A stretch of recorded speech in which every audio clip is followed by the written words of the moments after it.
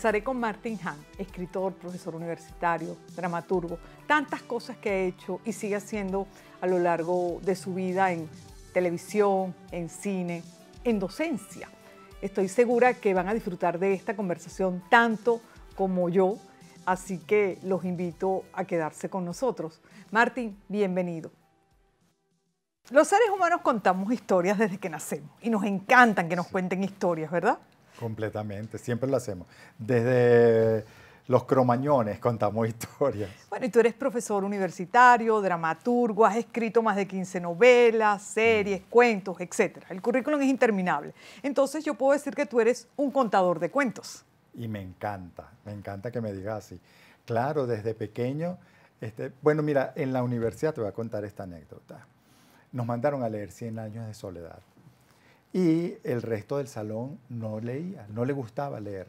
Entonces ah, yo quedé fascinado con la novela, leía y ellos me preguntaban, pero es buena, es buenísima, no sé qué. Y hice un grupo en mi casa, yo leía y en las tardes yo les contaba la novela. Ah, les hacía el trabajo. Les hacía el trabajo.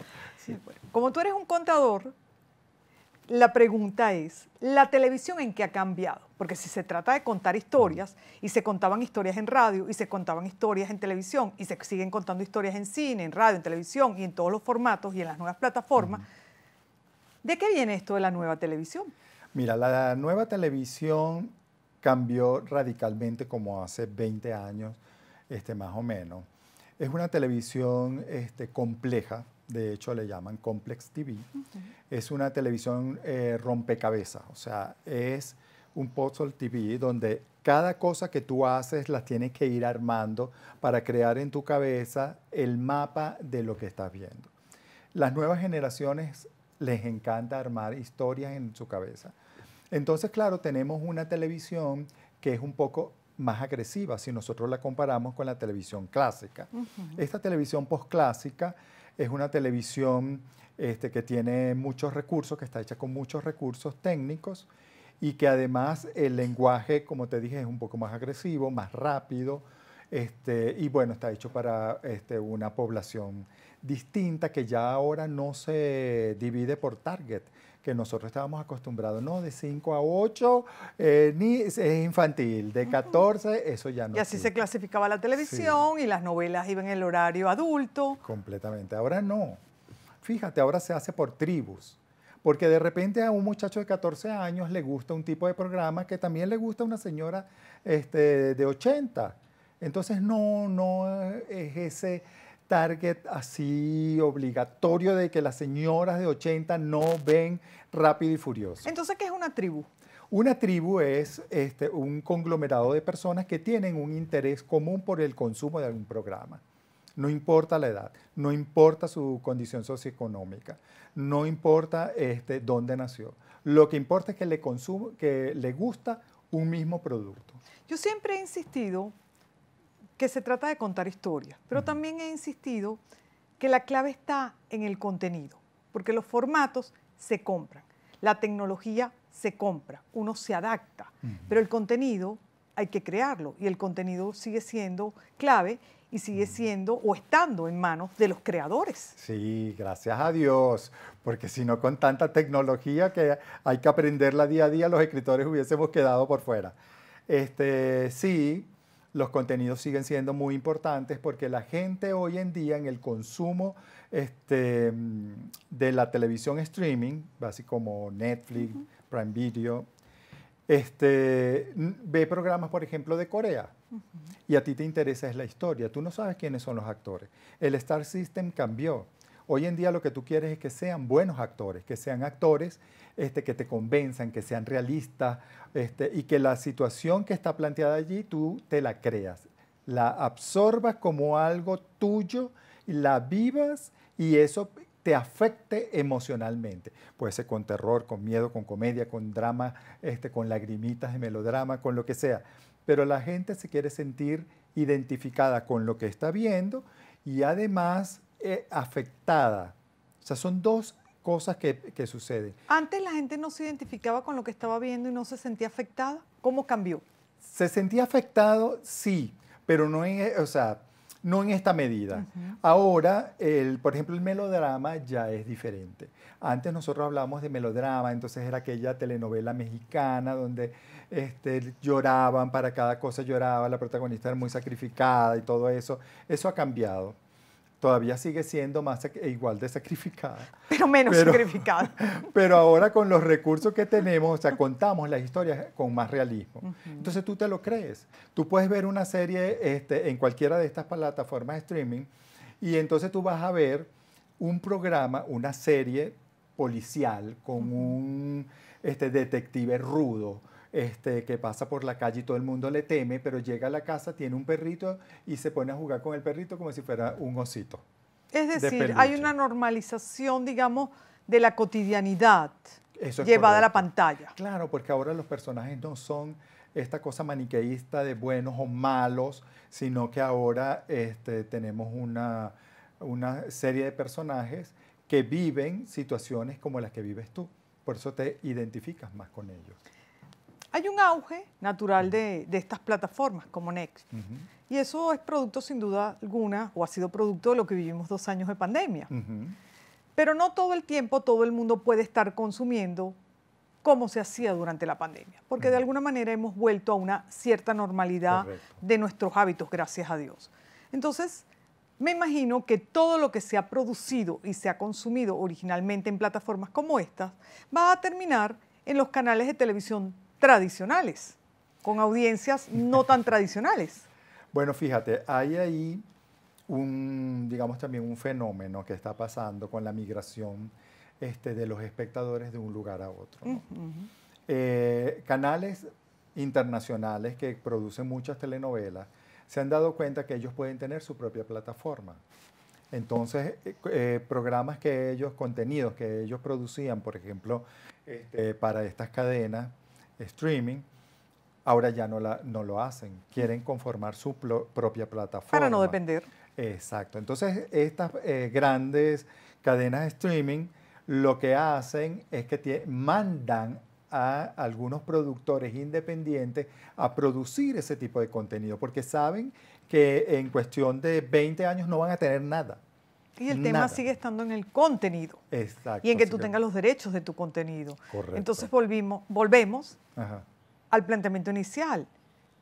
Contar historias, generar contenido, la tecnología se compra. Sí, claro, este, en contar historia, historias está la habilidad, obviamente, del escritor de conectarse con lo que está pasando en el momento. ¿Cuál es tu reto hoy en día como escritor?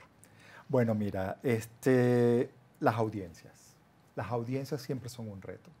Como te dije, como ahora son tribus, entonces tú dices, ¿qué hago yo para que pueda ser atractivo para una señora como mi mamá y para un muchacho como mi sobrino?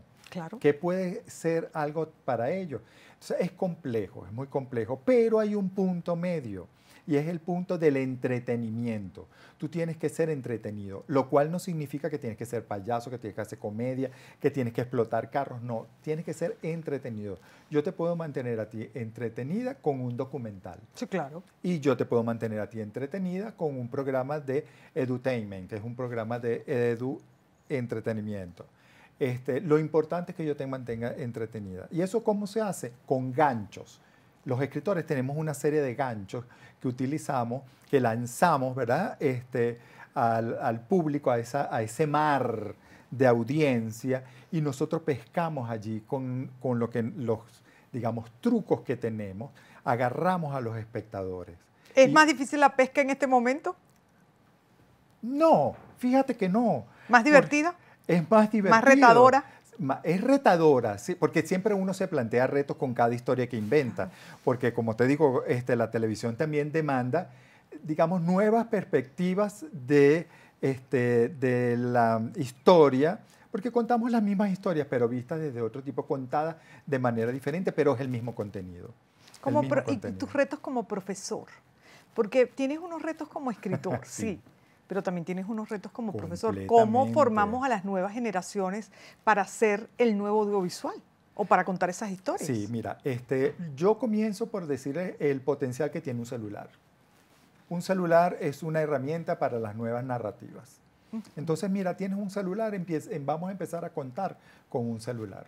Entonces empiezas a grabar, mira, yo tengo una historia, bueno, vamos a tratar de grabarla contigo, conmigo, no sé qué, y todo eso, y la grabas. ¿Qué vas a hacer después? Bajas una aplicación que te permite editar. Entonces editas. Cuando ese estudiante ve que ha hecho un primer video, queda picado de culebra. Se emociona. queda completamente picado. Entonces dice, yo puedo hacerlo. Entonces va a querer cada vez más y más y más. Y entonces empieza a aprender sobre la tecnología, pero lo más importante, porque sobre tecnología aprende mucha gente y se maneja y está bien y, y eso es muy necesario y necesitamos gente experta que lo haga. Si no, no podemos hacer grandes cosas. Claro. Pero cuando el muchacho empieza a preguntarse, ¿cómo lo puedo mejorar? Entonces empieza a aprender sobre el lenguaje cinematográfico, empieza a aprender sobre fotografía, entonces aprende sobre cómo dirigir actores, este, qué voy a contar y qué no voy a contar, aprende a escribir. Entonces hay un incentivo ahí. Se involucra completamente en el proceso creativo que va más allá de lo tecnológico. Que va más allá de lo tecnológico. Que esa es la idea, de formar muchachos y muchachas, obviamente de una manera integral para el audiovisual. Eso es correcto. Claro, lo que yo hago es que ellos se enamoren primero. Porque una vez que se enamoran, después cuando tú les hablas, tú agarras un programa cualquiera, entonces tú le dices, mira, este, desglósalo. ¿Cómo fue escrito esto? Estas, ¿Cuáles son las escenas? ¿Quiénes participaron? ¿Qué intención tenía esta escena? Entonces los ayudas a analizar ya un contenido y ellos empiezan a conocer toda una serie de herramientas que le permiten también crear. Es lo que hacemos nosotros aquí con los pasantes y los estudiantes, con la escuela. vale ser escuela. ¿Qué hacemos? Bueno, vamos a dejarlos que salgan y graben con un teléfono, con una cámara sencilla. Después ellos mismos van a estar más motivados al ver su trabajo y las deficiencias o no del mismo. Claro, y ahí se aprende. Ahí se aprende muchísimo cuando tienes un maestro que te dice, no puedes hacer este plano y pasar aquí, mira lo que hiciste. Ve, por ejemplo, series finlandesas, que son completamente diferentes a las series que pueden hacer los norteamericanos, o los peruanos, o los mexicanos. Tú ves algo hecho en Corea y el lenguaje es completamente diferente al lenguaje que puede usar Ecuador o, Chile para hacer una Y sin embargo nos atrapan. Nos atrapan. De ambos lados. De ambos lados nos atrapan, pero son lenguajes diferentes. Esta transición tecnológica que evidentemente está transformando la manera de consumir, de ver, incluso de exigir a la televisión, es un reto. Correcto. Pero se está construyendo en este momento. Ninguno puede decir a ciencia cierta hacia dónde vamos, ¿o sí? No, no podemos decir a ciencia cierta, porque fíjate, hace cinco o seis años Hollywood no pensaba que una cadena streaming le iba a quitar los Oscars. Y los este, Oscars no pensaban premiar, un formato de teléfono. Sí. Entonces, claro, eso va variando, porque como las nuevas tecnologías ofrecen tantas, tantas alternativas, que llega un momento donde el menú es tan grande que las nuevas generaciones quieren experimentar. Y en esos experimentos salen todas estas cosas maravillosas que uno dice, pero ¿cómo hacen eso? Nosotros estamos haciendo la serie Vivir y Convivir con teléfono. te iba a preguntar, te iba a decir, ¿estás atrapado en ese formato? Sí, sí, me encanta. Además, tiene muchas ventajas y tiene desventajas. O sea, tiene desventajas porque no podemos hacer de repente un zoom, este, de repente no podemos hacer algunos movimientos, no podemos montar el teléfono en un dolly, pero bueno, confiamos e, en la estabilidad del camarógrafo que pueda hacer los movimientos y que le queden limpios. Este, pero aunque también se puede hacer con cámaras profesionales, pero es más complicado, bueno, yo te puedo poner el teléfono aquí y este, en una parte donde una cámara no cabe, yo la lo puedo poner ahí y hacer mis, mis tomas desde allí. ¿Esa serie con cuántas personas la estás haciendo? Bueno, mira, comenzamos a hacerla como sería siete personas, ¿verdad? Este, la hicimos con las uñas. La gente dijo, yo quiero estar ahí. Y entonces los metimos y había gente, teníamos actores consagrados como María Alejandra Martín. Y ella dijo, yo quiero estar, no me importa. Porque están eh, inventando el futuro. Esto era eh, crear un nuevo lenguaje y crearlo con este, una intención. Fíjate que al principio no concebían los actores, cómo podíamos nosotros educar y hacer un libreto tan entretenido. Bueno, lo fuimos logrando, lo fuimos logrando y la gente ve estos, estos videos y dicen cómo es posible que ustedes planteen todos los problemas que estamos pasando los venezolanos, este, por ejemplo, eh, que se va la luz, no tenemos agua, este, yo prefiero comprar velas que, que pagar un, un, un, tambor de agua, este, todas esas cosas que no se me gastan los zapatos porque hago demasiada cola para hacer las cosas que no se me gastan. este, de todas estas cosas cotidianas que vivimos los venezolanos, pero al mismo hablamos, por ejemplo, de la desinformación. Y allí vamos eh, diciéndole, por ejemplo, al venezolano, mira, a ti te hace falta esto, tú lo puedes exigir, tú estás en tu derecho. Es una serie educativa, audiovisual, en, en, un formato totalmente innovador, sí, que acorde a los, tiempos que nos ha tocado vivir y en esta transformación que tenemos. ¿Cuántos capítulos llevas? Llevamos 14. ¡Wow! Primera temporada 7 y segunda temporada que la estamos editando ya está en postproducción, tiene siete y ya estamos planificando la tercera. Es decir, que ha sido un éxito. sí, ha sido un éxito. A la gente le ha encantado, lo hemos llevado a diferentes comunidades este, y de diferentes tipos y fue eh, la acogida es maravillosa. Ese es un rol también social. Sí, ese es mi compromiso social. Mi compromiso cívico es hacer vivir y convivir. Yo puedo hacer otras cosas para cadenas más importantes donde me pueden pagar muy bien, pero aquí no me importa si me pagan o no me pagan. O sea, yo lo hago porque es mi compromiso. Yo creo que cada quien desde su propio espacio y desde su propia experiencia de vida y de trabajo puede hacer un aporte muy importante en este momento para el país que permitirá la transformación y el avance del mismo. Porque no se trata solo de quejarnos, se trata de ¿Cómo aportamos desde nuestro espacio en la construcción de ciudadanía? Fíjate, nosotros tenemos un capítulo donde un personaje dice, ya estoy harta de las malas noticias. Todos los políticos hablan este, de, lo de lo mal que estamos. ¿Dónde está la gente que hable de las cosas buenas que tenemos? O sea, uno de los personajes reclama eso. O sea, decir, conchale, nosotros tenemos este talentos, vamos a explotarlos, en vez de estar quejándonos vamos a hacer cosas, porque el país necesita que hagamos cosas, no que nosotros estemos esperando a que otros la hagan. Yo tengo las herramientas en mi casa, bueno, si el tubo de, se rompió, el que me alimenta mi casa y la de los vecinos, y yo soy plomero, ¿por qué no voy a acomodar ese tubo? Que nos vamos a beneficiar todos. Y la gente lo hace, pero bueno, decirlo también, que la gente lo está haciendo. Tú estás usando un formato innovador, un formato del audiovisual acorde a los tiempos que nos está tocando vivir de transformación, de un cambio de era, pero estás contando historias. Estás contando historias cercanas a la gente. Estás haciendo lo que siempre has hecho y lo que te gusta hacer.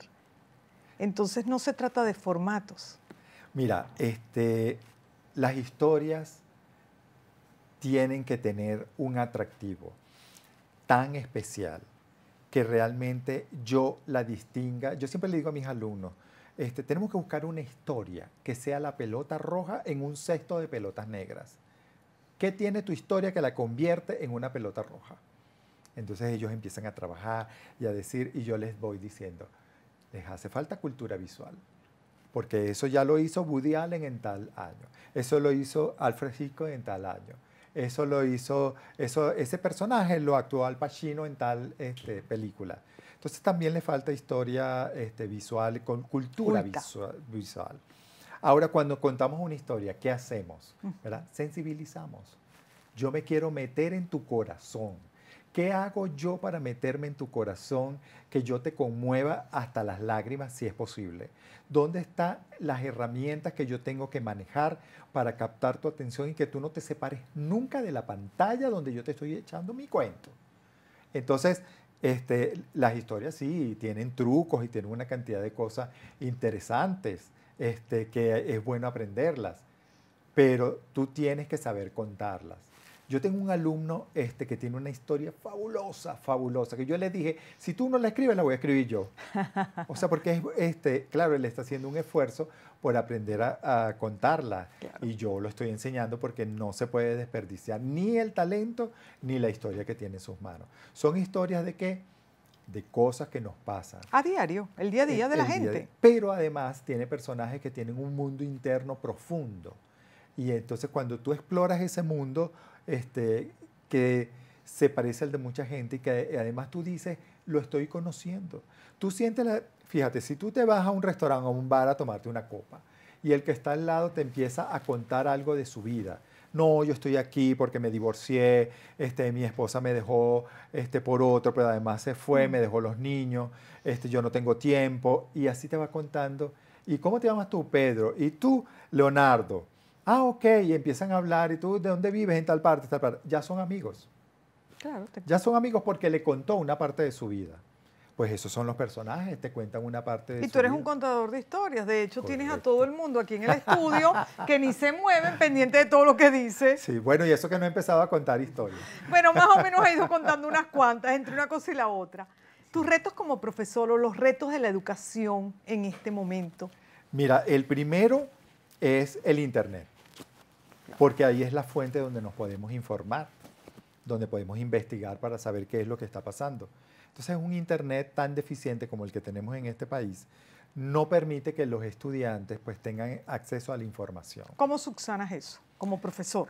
Eh, yo bajo este em, material, lo cuelgo en mi página de la universidad y entonces ellos van, cuando tienen el internet un poquito o usan los datos del teléfono para este, bajar esa información. Pero ya yo les hice un trabajo que a ellos les podría costar, por ejemplo, cinco o seis horas.